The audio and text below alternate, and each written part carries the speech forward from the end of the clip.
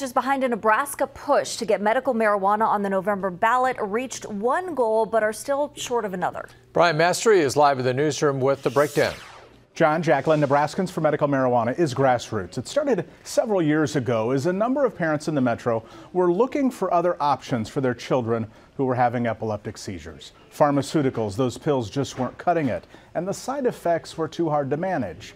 In fact, the campaign manager is one of those moms. The petition process has a lot of rules. The campaign says it's reached one of the thresholds, signatures of at least 5% of the voters in 38 counties. But organizers also need 7% of registered voters, so that comes to 87,000.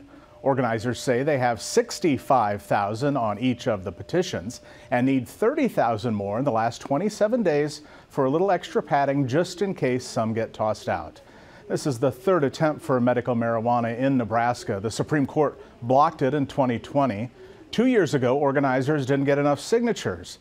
This time, the hardest part, I'm told, is the competition. There are just so many petitions underway in Nebraska right now that it's cutthroat competition for the signature collectors.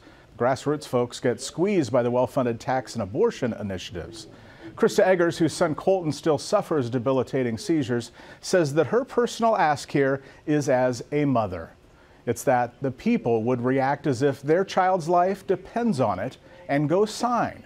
Because for many of us, our child's life really does depend on it. Organizers say they are farther along now compared to past signature drives.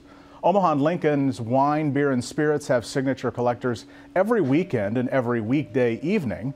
Petitions are due July 3rd. On your side, Brian Mastre, 6 News. The Nebraska